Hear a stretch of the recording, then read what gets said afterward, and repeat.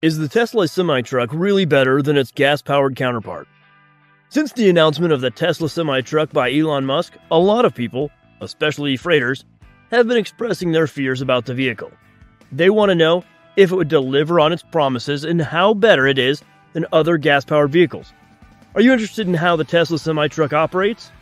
Welcome back to Autotech, and in this video, we're going to go in depth on the all new Tesla semi truck. For a long time, trucking has been the preferred method of transporting freight within the U.S., but it's ripe for innovation and improvement. Fortune 500 companies like PepsiCo that use trucks to move a lot of goods are burdened by enormous transportation bills and high greenhouse gas emissions. So many companies have been looking for clean and cost effective replacements for their diesel powered semi truck fleets. Although semi trucks make up just 1% of the US vehicle fleet, they're responsible for around 18% of total greenhouse gas emissions. Electrifying this fiercely cost conscious market has proven an even bigger challenge than electrifying light duty trucks and cars, but Tesla's semi truck could be ready for the job.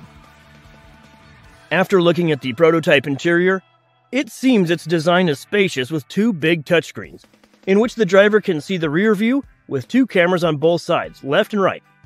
The driver's seat is located in the center of the electric truck, unlike traditional semis, which improves visibility and is also good for driver safety.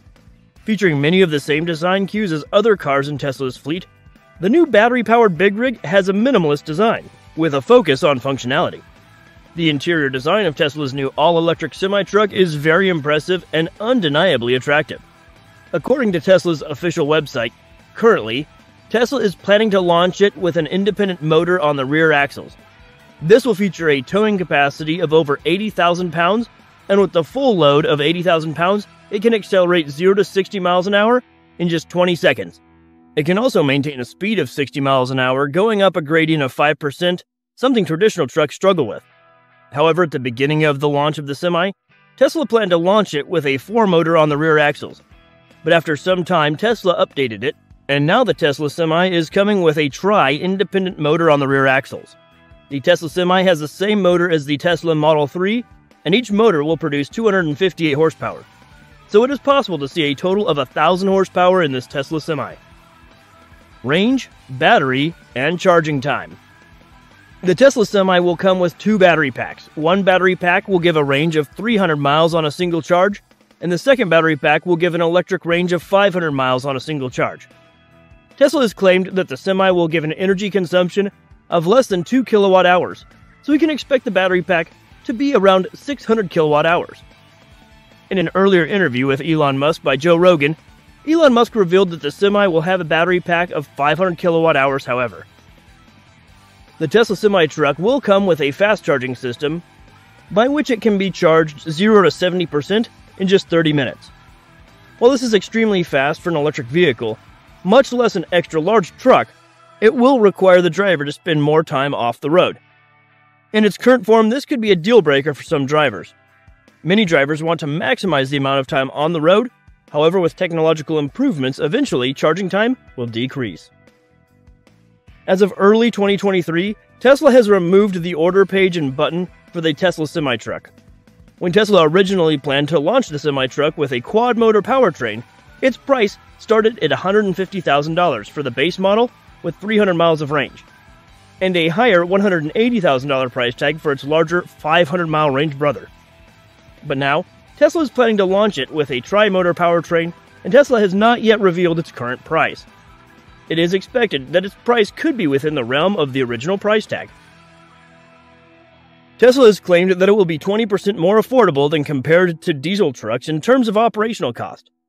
The cost of a Tesla semi electric truck is 1.26 per mile, while the cost of an average diesel truck is 1.51 per mile. Safety features it is anticipated that the Tesla Semi will have the brand's improved autopilot suite for safety features as standard. The list of safety features is expected to include an emergency automatic braking system, forward collision warning, automatic lane departure warning with lane keeping assist, and many more safety features. The Tesla Semi will have also an enhanced traction control system to prevent jackknifing. Jackknifing refers to the abnormal folding of highly articulated vehicles such as trailers due to uncontrollable inertia. This is when heavy trailers cause the truck to turn at awkward angles, often leading to accidents. Tesla engineers have incorporated an advanced traction control system where a jackknife can be completely averted. Infotainment and connectivity features. The Tesla Semi will come with two large touchscreen infotainment displays in which the driver can see the rear view with two big touchscreens on both sides, left and right. Tesla has, however, not until now revealed more information about the infotainment and connectivity features. However, based on other vehicles in the fleet, it can be expected that it could come with all modern infotainment and connectivity features, like a wireless charging pad, Spotify, Netflix, and many other media options. Tesla semi trucks compared to diesel trucks. Currently, diesel trucks cost about 17 cents a mile for maintenance. The Tesla Semi will almost certainly cost less as its electric powertrain has few parts that need maintenance at all. So that gives a little room to make the electric semi cheaper to operate when using fast chargers. One evident solution is to not use public fast chargers. Many companies buying these trucks want them to run cargo between their depots. The truck will load up at one depot and drive to the other. It will charge directly at those depots. There, the effort can be made to install and use cheaper power. These depots may install solar power, which is now much cheaper, but power only generates during the daytime, of course.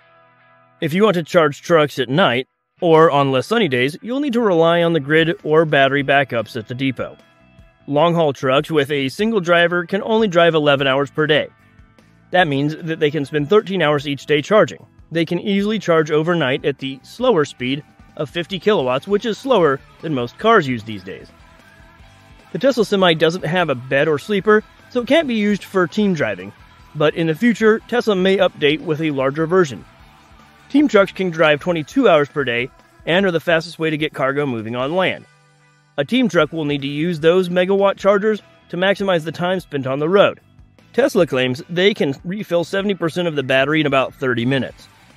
In time, the price of high power DC fast charging will come down, solar power will likely be in surplus, and the final result will be a cost much lower than its diesel counterpart.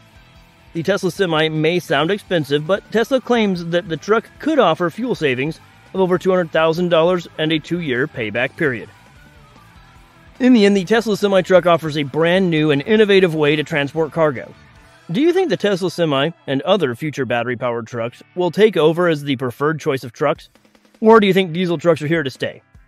Let us know your thoughts in the comments section down below. If you enjoyed this video, consider subscribing to the channel for more electric vehicle videos. Until next time, thanks for watching Autotech.